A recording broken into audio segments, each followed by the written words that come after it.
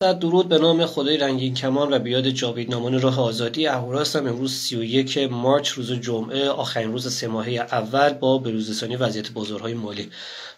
دادهایی که دیروز داشتیم یه نگاه اجمالی خواهیم کرد و بعد, بعد به دادهایی که امروز داریم و نگاه کلی به بازار. دیروز دادهایی که منتشر شد نگاهی بکنیم. در مورد اول نکته مهمی که جالبی که داشتیم از اروپا این بود که تورم در حوزه یورو تورم در بریتان در آلمان که بزرگترین اقتصاد حوزه یورو هستش کاهش پیدا کرد و از 8 و درصد به 7 و 4 درصد رسید که خب این خبر خوبیه ولی خب همچنان خیلی عدد بالاییه. و نکته که در بولتن اقتصادی و بعد یه بولتن اقتصادی حوزه یورو منتشر شد که اون هم نشون دهنده این بود که تورم یعنی اظهارات عمومی و در واقع تحقیقات عمومی نشون دهنده این بود که تورم در حوزه یورو برای مدتی طولانی تری در سطوح بالاتر باقی خواهد موند. هم نکته جالب ترین نکته بود که در واقع مهمترین نکته بود که در بولتن اقتصادی حوزه یورو دیروز منتشر شد. اما بعدا در, در ساعت بازارهای امریکایی شاخص در واقع تولید ناخالص داخلی جی دی پی منتشر شد برای سه ماهی آخر سال 2023 که آخرین باز 2022 که در واقع آخرین بازبینی اقتصاد تولید ناخالص داخلی بود. نشون دهنده این بود که از پیش بین تولید ناخالص داخلی در سه ماهه آخر سال دو شش درصد رشد کرده در ایالات متحده که از پیش بینی دو هفتم درصد کمتر بود و از بازبینی های قبلی هم کمتر بود. و این نشون میده که خب اقتصاد واقعا در حال کند شدن هستش و تاثیراتی که بانک مرکزی با اعمال سیاست های سخت گیرانه‌ای داشته تقریبا نتیجه داده. از اون طرف ما شاخص تورم تدریجی تورم ترجیحی فدرال رزرو PCE price index رو داشتیم برای سه ماهه چهارم سال گذشته که اون هم برعکسش نشون داد که یه مقدار افزایش پیدا کرده به 4 درصد و 3 و درصد. یعنی از چیزی که فکر می‌کردن در واقع پیش بینی می‌کردن که تورم در سه ماه آخر سال یه مقدار کاهش پیدا بکنه. تورمش در واقع میزان تورم میزان مخارج مصارف شخصی. اینطوری بخوام بگیم یه شاخص خیلی در واقع یک ثبت خاصیه که فدرال رزرو اونو برای معیار سنجش تورمش در واقع اونه. اون نشون دهنده بود که تورم در سه ماهه آخر سال برخلاف اون چیزی که فکر می‌کردن این مقدار نسبت به چشم اندازه و پیش بینی افزایش پیدا کرده. حالا امروز داده ها با داده های چین و حوزه و از کلا از آسیا شروع شد.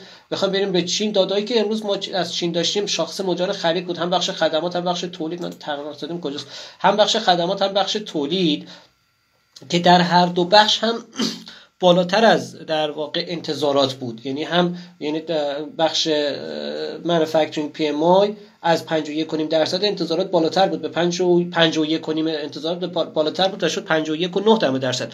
اما از ماه قبل یعنی از ماه فوریه که 52 و 6 درصد بود در ماه مارچ کاهش پیدا کرده به 51 و 9 درصد. این نشون دهنده این بود. بخش خدمات اما رشد خیلی خوبی داشته. از 56 و 3 درصد ماه فوریه به 58 و 2 درصد رشد کرده که این نشون دهنده عدم تناسب بین بخش خدمات و بخش تولیده. بخش تولید در چین یه مقدار ضعیف‌تر شده هم می‌تونیم به این در نظر بگیریم که با توجه به افزایش تورم در کشورهای دیگه درخواست‌ها برای کالای چینی کمتر شده و بنابراین میزان فعالیت کارخونه‌ای هم میزان فعالیت تولیدی هم قاعدتا باید کاهش پیدا کرده باشه.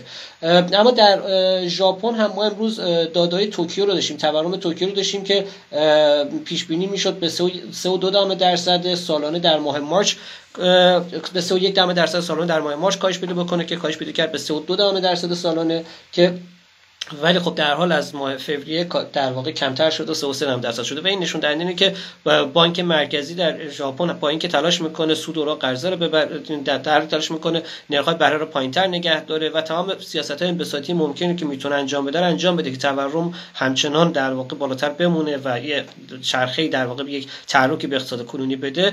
همچنان نتونسته و تورم دوباره داره کاهش پیدا می‌کنه و اون در واقع چشم اندازی که اگه تورم بالاتر بمونه بانک مرکزی ژاپن سریعتر بره به سمت سیاست های انقباضی اون چشم انداز فعلا رخ نداده و همچنان سیاست های انبساطی احتمالاً ادامه پیدا خواهد کرد. ولی با توجه به اون اختلاف زیادی که بین نرخ‌های بهره بانک مرکزی ژاپن هست و دیگر بانک‌ها احتمالاً با توجه به اون مسئله شاید نرخ‌های بهره رو مقدار افزایش بدن.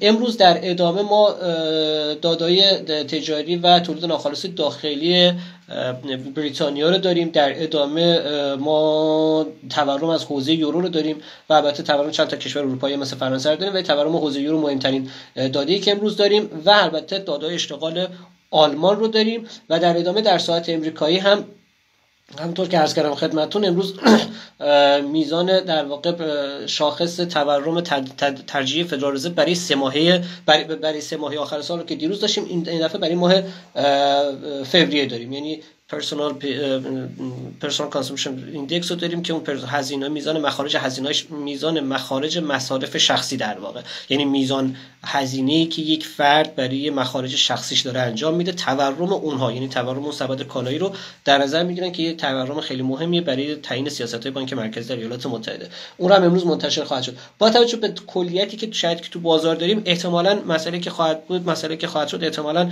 در واقع بازار با یه نگرش مثبت به این شاید نگاه کنن و روز ماه آخر روز آخر این سه ماه تموم بشه. از هفته آینده کم کم باید به فکر گزارش های درآمدی باشیم و اینکه حالا چه اتفاقی در بازارهای سهام یه مقدار تنش بیشتری در بازارهای سهام خواهیم داشت. امیدوارم به دردتون خورده باشه. ما تا در واقع دو سه ساعت دیگه وبینار chart Renko و trade با chart Renko شروع میشه. امیدوارم که در وبینار هم شرکت کنید و اونجا هم ببینم. تو لینک ثبت نام در وبینار هم در بایا در بالا در bio در اینستاگرام هستش. بچه بچه که در Clubhouse هستید هم در بالای اتاق pin شده. تا فرصت دیگه که دوباره در خدمتتون باشیم خدا یارو نگهدارتون.